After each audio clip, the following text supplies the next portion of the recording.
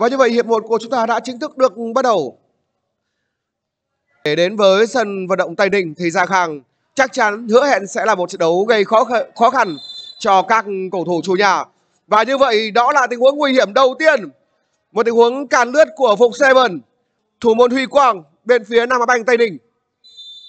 Phục Seven. Không vào! Số 77 Kiều Coca và số 9 đội trưởng Phục Seven. Phục Seven hứa hẹn sẽ là một ngày làm vất vả những cầu thủ phòng ngự bên phía nào Mạnh Tấn Ninh. Dứt điểm, không vào.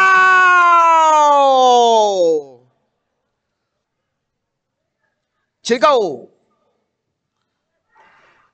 không vào. Một tình huống bắt vô lề hụt của Dương Nhóc. Chiến cầu không được. Nguy hiểm không vào. Chiến ba lá. Tony Phan. Tony Phan. Vừa rồi đó là cú đá nguy hiểm của Tony Phan. Bóng vẫn còn hơi cao so với khung thành của Huy Quang.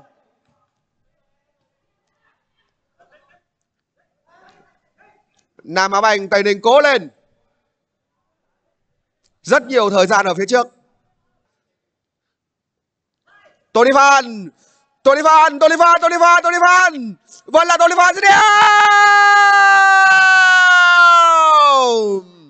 Và xử lý hay của Tony Phan nhưng cú dứt điểm đã không thể chiến thắng được đôi tay của Huy Quang. Rất tốt ở trong tình huống vừa rồi. Tony Phan rất hay, rất tốt. Nhưng Huy Quang là rất tiếc. Quốc Bảo. chém bóng. Đánh đâu! Vẫn lại một tình huống tấn công của các cầu thủ lên. Pha đánh đầu là của Phục Seven. Tình huống đánh đầu vẫn chưa chính xác. Ngày hôm nay thì sự chính xác của Phục Seven đã đi đâu rồi? Từ cái chân cho đến cái đầu. Quốc Bảo. Quốc Bảo. Nguy hiểm. Không vào. Vẫn không vào. Quá đen. Quá đen rồi. Có vẻ như là không có hôm nào đen như hôm nay của Gia Khang với rất nhiều những áp lực tấn công. Vừa rồi thì cột dọc tiếp tục cứu thua dành cho Nam Á Banh Tây Đình Chiến ba lá. Quân cương. Không vào.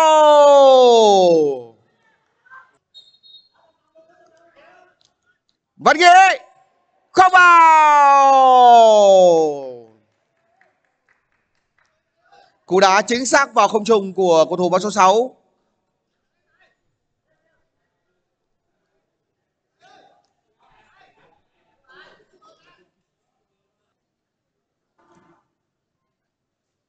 Coi! Đã có lối việt vị rồi.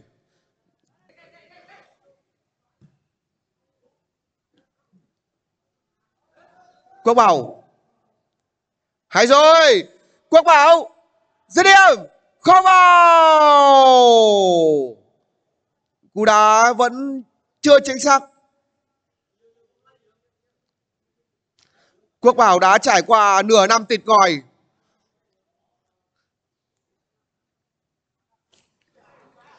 Phản lấy bóng hay pha di chuyển có lẽ là của su ba chốc su ba chốc chốc chốc chốc vào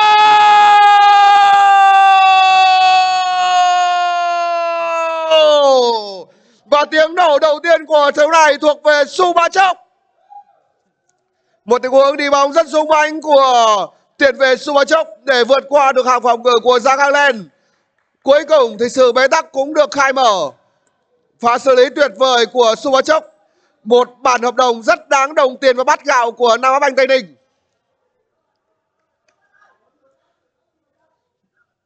và xử lý tuyệt vời, cú dứt điểm xuất sắc. 10 điểm cho pha xử lý vừa rồi của Chu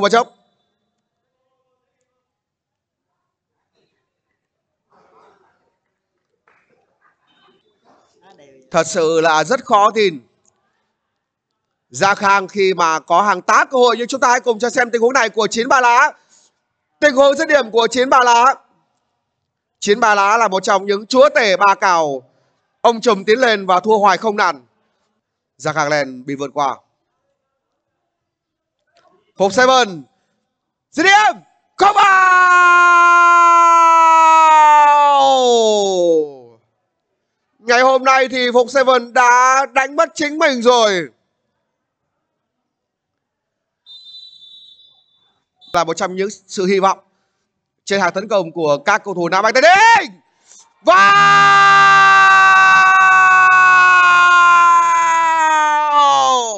tuyệt vời không thể tin nổi không thể tin nổi với những gì đã diễn ra ở trong trận đấu ngày hôm nay người đã chạm bóng cuối cùng cầu thủ vào số 3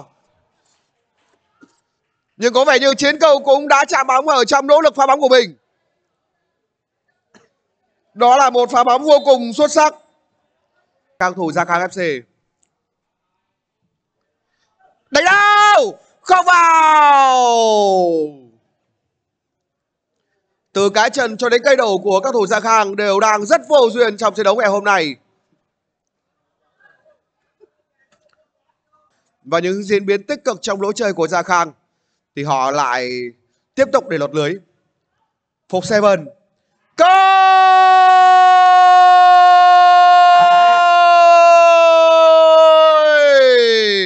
Bàn thắng số gắn tỷ số dành cho đội khách Gia Khang. Quân Cường là người đã dứt điểm cuối cùng trong một tình huống nỗ lực ở đáy biên của đội trưởng Phục Seven. Có lẽ Phục Seven khi mà anh không có duyên ghi bàn thì anh có duyên kiến tạo ở trong trận đấu ngày hôm nay. Và lỗi chơi trong cách sử dụng hai tiền đạo đang phát huy được hiệu quả.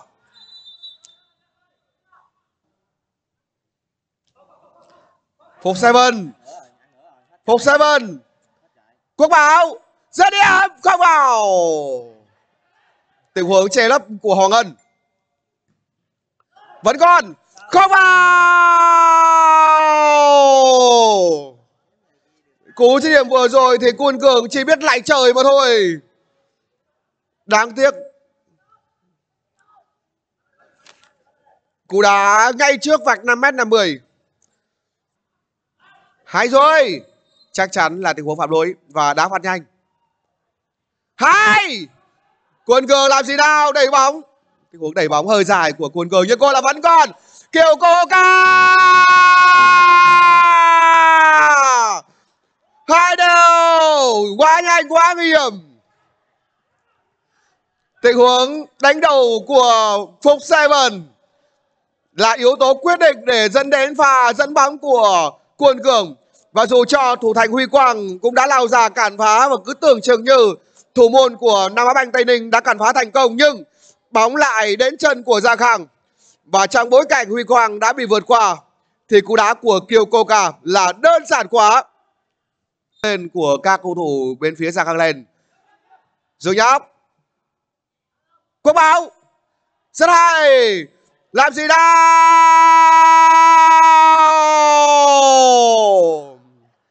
có lẽ thì Phục Seven ngày hôm nay, anh không có duyên để ghi bàn.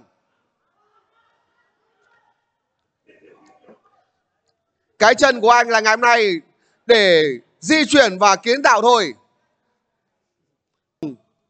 Quân Cường. Vẫn còn. Phục Seven. Dứt điểm. Không vào. Sau mỗi lần dứt điểm thì chúng ta lại thấy hình ảnh cứ vuốt mặt và vuốt đầu của Phục Seven mà thôi.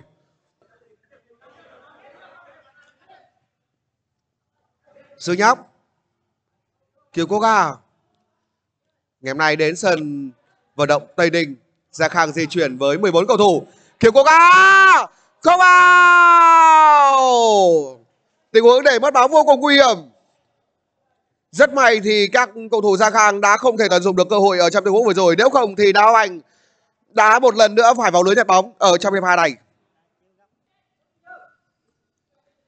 Dương Nhóc. Cắt vào Dương Nhóc. Hay. chơi chơi. Vẫn thêm một tình huống điểm nữa, nhưng có vẻ như, có vẻ như đã có một ừ, pha va chạm trước đó giữa Tony Phan cùng với cầu thủ áo số 77 nhưng không có một tình huống phạm lỗi. Cúp báo xử lý khéo. Hay! Chỉ câu hai rồi! Tony Phan. Bứt phá. Tony Phan. Đưa bóng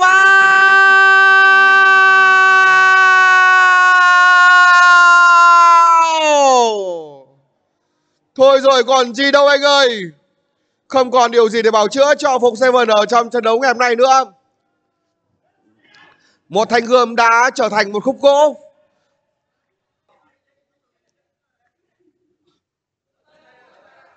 Phục Seven Phục Seven Lần này thì anh không đá ra ngoài nữa rồi, Và anh đá vào vị trí thủ môn.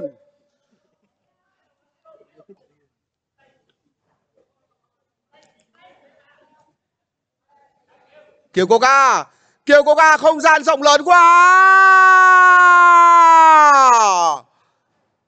Không được.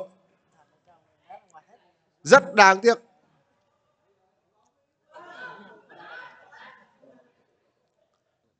Mất bóng rồi. Quốc Bảo. Dứt điểm. Không vào. Không hiểu sao nữa. Chúng ta không thể biết được điều gì đã xảy ra với những chân sút của Gia Khang. Rõ ràng thì Gia Khang lên có những cầu thủ có thừa kinh nghiệm để có thể phán đoán các tình huống xử lý của Super chấp. Phục Seven, Phục Seven, làm gì nào anh ơi? Phục Seven được chuyền, không vào.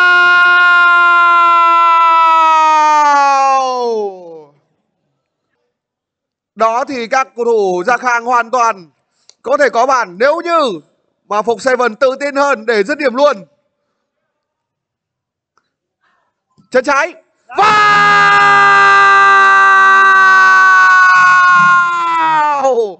Bây giờ, bây giờ bàn thắng cũng đã đến dành cho phòng Seven. Số 9 của chúng ta đã được giải tỏa rồi. Những áp lực về tâm lý, những gánh nặng về những khát khao về những bàn thắng ở trong trận đấu hôm nay đã được giải tỏa đối với cá nhân của cầu thủ số 9. Lần này tình huống dứt điểm của anh mới thành công. Sau 7749 lần dứt điểm, cuối cùng thì Phục Seven cũng đã mang đến một tiếng nổ ở trên sân vận động Tây Ninh với một cú dứt điểm trái phá.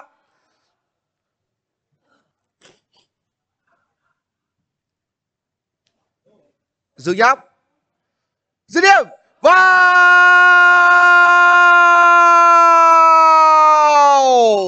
khi mà hàng phòng ngự của các cầu thủ Nam Á Banh, Tây Ninh đã xỉu ra, thì đó là lúc mà các thủ Giang Lên cũng đã biết cách để lên tiếng. Lần này thì là cú đá của Dương Nhấp số 6 của dạng HFC. FC. Tỷ số bây giờ là 4-2. Và dường như đây sẽ là một trong những dấu chấm hết cho những nỗ lực của đội chủ nhà.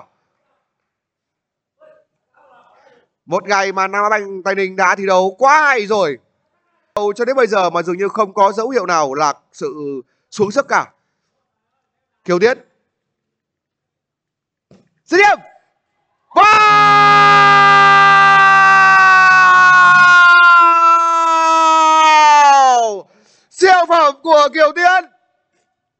Bóng đá liếm vào Mép trăm cột dọc Và sau đó làm mảnh lưới của thủ thành Luân Gia rung lên Đây là khoảnh khắc của một ngôi sao Một ngôi sao thật sự của cao thủ đá banh ở trong những thời điểm cuối trận với một cú đá sấm sét, cú đá tuyệt vời, cú đá không thể cản phá. Nói chung là miễn chê ở trong tình huống dứt điểm vừa rồi của thủ ba số 13. Thủ ba số 13 Kiều Tiến trên sóng của dấu xanh cỏ. Sau khi trận đấu này khép lại, và đây là cơ hội và câu trả lời của Giang Hạng Phục Simon. Phục Simon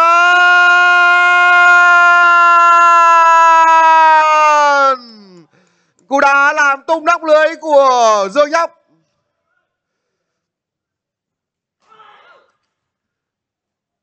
cú đúp bàn thắng của dương nhóc và cú đúp kiến tạo của phục seven vẫn là một tình huống nỗ lực xử lý ở đáy biển và tình huống nhà bóng già dành cho đồng đội. Lần này thì dương nhắc là người tiếp cận với trái bóng bằng một tình huống dứt điểm làm nóc lưới của thủ thành huy quang phải rung lên. Không được.